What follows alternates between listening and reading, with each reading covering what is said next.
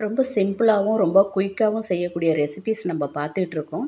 அதில் பார்த்திங்கன்னாக்கா இதுவும் ரொம்ப குயிக்காக செய்யக்கூடிய ரெசிபி ஒரு வீட்டில் ரெண்டு பேர் இருக்கீங்க அப்படின்னா ரொம்ப கம்மியான குவான்டிட்டியில் மாவு அரைச்சி கம்மியான குவான்டிட்டியில் செய்யணும் அப்படின்னா இந்த டிஷ்ஷை நீங்கள் ட்ரை பண்ணுங்கள் இது சாப்பிட்றதுக்கும் அவ்வளோ டேஸ்ட்டாக இருக்கும். நிறைய சாப்பிட வேணாம் நமக்கு சும்மா கொஞ்சம் இருந்தால் போதும் அப்படின்னு ஃபீல் பண்ணுறவங்க ஒரு ஆள் ரெண்டு ஆள் இருக்கிறவங்க இந்த மாதிரி முறையில் நீங்கள் ட்ரை பண்ணி சாப்பிட்டிங்கனாக்கா ஃபுட்டும் வேஸ்ட் ஆகாது. நம்ம பிடிச்சத சாப்பிட்ட ஒரு ஃபீலிங்கும் கிடைக்கும்.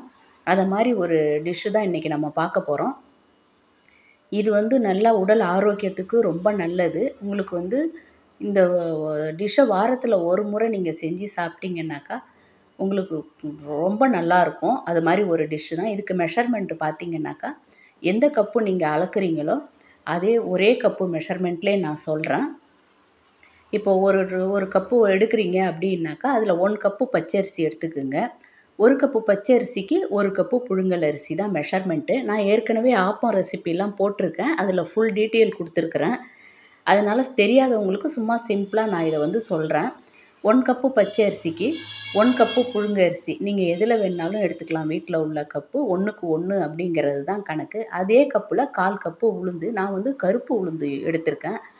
கால் கப்பு. நீங்கள் வெள்ளை உளுந்து தோல் இல்லாத உளுந்து எடுக்கிறீங்கன்னா கொஞ்சமாக கம்மி பண்ணிக்கிங்க. அவ்வளோதான் இது மெஷர்மெண்ட்டு இந்த மெஷர்மெண்ட்டில் நீங்கள் தனித்தனியாக அரைச்சி இதை வந்து நம்ம வழக்கமாக ப்ரெஷர் வெயிட்டிங் பண்ணுற மாரி புளிக்க வச்சு மாவு வந்து இந்த லெவலில் இருக்கணும். அப்போ தான் உங்களுக்கு ஆப்பம் வந்து நல்ல மென்மையாகவும் சாஃப்டாகவும் இருக்கும். ஊற்றுறதுக்கும் நல்லாயிருக்கும் நம்ம சாப்பிட்றதுக்கும் ரொம்ப சாஃப்டாக இருக்கும். ஹார்டாக இருக்காது. இந்த அளவுக்கு நல்லா புளிச்சு இந்த அளவுக்கு இருக்கணும். பர்மெண்ட் ஆகி மாவு உங்களுக்கு. இது ஊற்றுறதுக்கு ஊற்றும் போதே உங்களுக்கு தெரியும் ஆப்பம் எவ்வளோ சாஃப்டாக வரும் அப்படின்னு. நீங்கள் வழக்கமாக ஆப்ப சட்டியில் ஊற்றி நமக்கு வந்து சாப்பிட்றத விட குழந்தைங்களுக்கு நீங்கள் இந்த மாதிரி கொடுத்தீங்கன்னாக்கா அவங்க எடுத்து சாப்பிட்றதுக்கும் வித்தியாசமாக இருக்குது அப்படின்னு சொல்லிட்டு எடுத்து சாப்பிட்றதுக்கு ஈஸியாக இருக்கும்.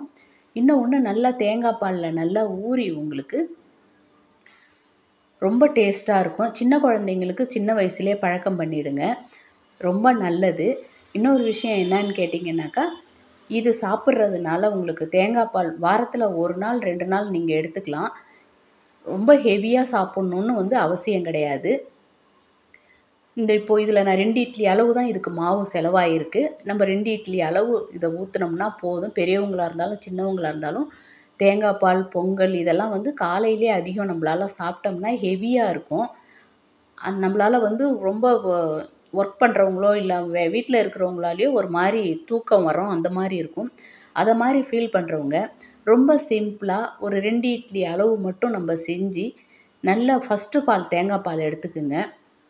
எடுத்துக்கிட்டு இதில் நல்லா ஊற்றி ஃபுல்லாக நீங்கள் ரெண்டு இட்லி அளவு சாப்பிட்டிங்கன்னா உங்களுக்கு அந்த ஹெவினஸ் தெரியாது. அதே சமயம் நம்ம தேங்காய் பால் ரெசிபி சாப்பிட்டோங்கிற ஃபீலும் இருக்கும். தேங்காய் பால் அவ்வளோ உடம்புக்கு நல்லது. ஃபஸ்ட் ஆஃப் ஆல் வந்து அல்சருக்கு ரொம்ப நல்லது. வாய்ப்புண்ணு வயிற்று புண்ணு இருக்கிறவங்கெல்லாம் தேங்காய் பால் வாரத்தில் ரெண்டு நாள் எடுத்துக்கிட்டாங்கன்னா ரொம்ப நல்லது. குழந்தைங்களுக்கு நீங்கள் ஒல்லியாக இருக்கிற குழந்தைங்களுக்கு தேங்காய் பால் ரெசிபிஸ் நிறையா செஞ்சு கொடுத்தீங்கன்னா அவங்க அந்த ஒல்லித்தன்மையிலேருந்து கொஞ்சம் மீண்டு வருவாங்க. கொஞ்சம் சதையாக பூச சதை வெயிட் போடுறதுக்கு வந்து இந்த தேங்காய் பால் ரொம்ப அந்த ஒல்லியாக இருக்கிற குழந்தைங்களுக்கு ஹெல்ப் பண்ணும். அதனால் நீங்கள் குழந்தைங்களுக்கு இதை தாராளமாக நீங்கள் கொடுக்கலாம். பெரியவங்களுக்கு சொல்லவே வேணாம். ஹெவியாக சாப்பிடாம லைட்டாக சாப்பிட்டுக்கிட்டா போதும். எந்த ஃபுட்டாகட்டும் பொங்கல் ஆகட்டும் இதெல்லாம் வந்து நம்ம ஹெவியாக சாப்பிடவே கூடாது.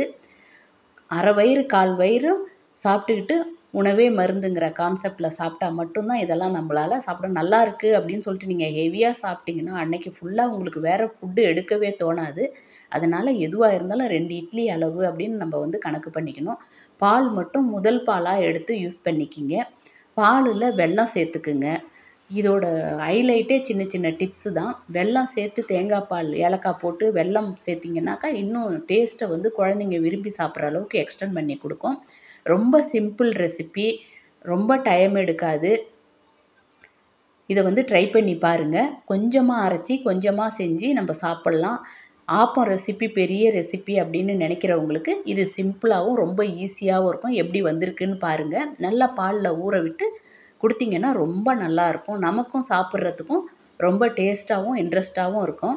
இதை மாதிரி மெஷர்மெண்ட்டில் கொஞ்சமாக அரைச்சி ட்ரை பண்ணி பாருங்கள் இதேமாரி ட்ரை பண்ணி பார்த்துட்டு எப்படி வந்ததுங்கிறத கமெண்ட் பாக்ஸில் சொல்லுங்கள் மெயினாக குழந்தைங்களுக்கு இந்த மாதிரி செஞ்சு கொடுத்தீங்கன்னா சாப்பிடாத குழந்தைங்களும் இதை வந்து நல்லா விரும்பி சாப்பிடுவாங்க. நீங்கள் எடுக்கும்போதே தெரியும் உங்களுக்கு அது எவ்வளோ சாஃப்ட்னஸில் எப்படி வந்திருக்கு அது தேங்காய் பாலில் ஊறி அது எப்படி வந்திருக்குங்கிறத நீங்கள் பார்க்கும்போதே உங்களுக்கு தெரியும். ட்ரை பண்ணி பாருங்கள்